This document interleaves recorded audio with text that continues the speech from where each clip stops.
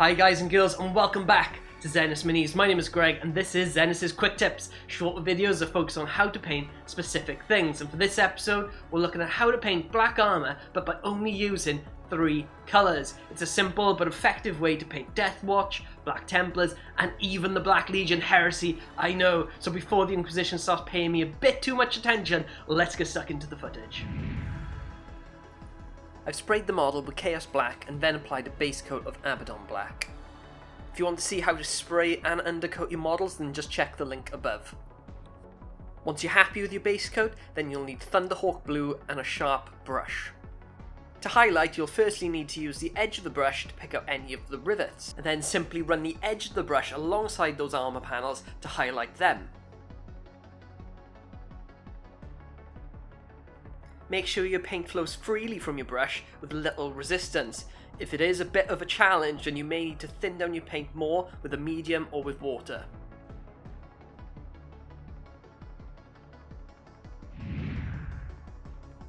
You can repeat this process for the other panels, however for the knee pad you'll need to paint more freely.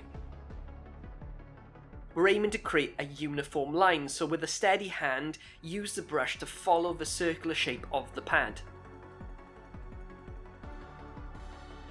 Depending on how confident you are with the brush or how steady your hand is, you may want to paint the pad in quarters and to do this you just want to paint it a quarter at a time. So starting at the centre, move the brush along and flick out when you get to about quarter of the way. Then repeat this four times until the pad is fully highlighted.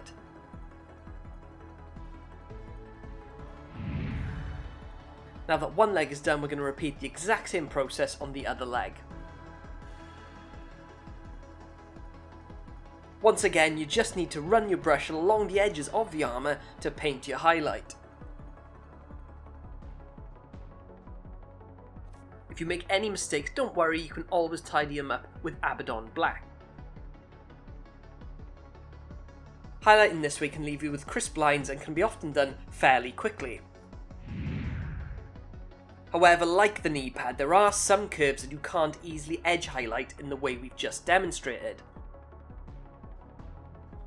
So when highlighting those lines, place your brush towards the central point and follow the line of your armour from the inside to the out.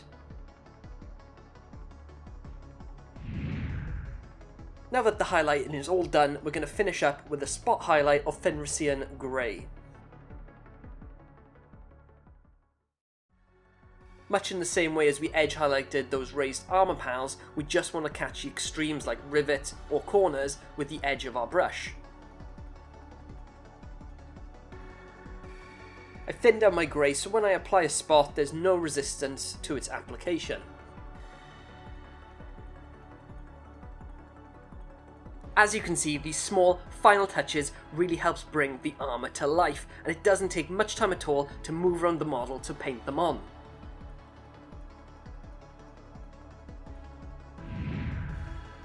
Once one leg is done, then it's time for the next, and remember there's no need to go overboard, just select spots that may be prone to catching and reflecting a light source. The great thing about painting in three colours is that you can get things done very quickly, and even if you change your colour scheme, you can still use the exact same steps as we've been through today. And guys, that is the black complete. Hope you've enjoyed, hope you found it useful. Drop me a like if you have, leave any thoughts or suggestions in a comment below, and subscribe if you want to. If you want to see more, then check out my other videos, but that is it for today, so thank you all for watching, take care, and I'll see you next time.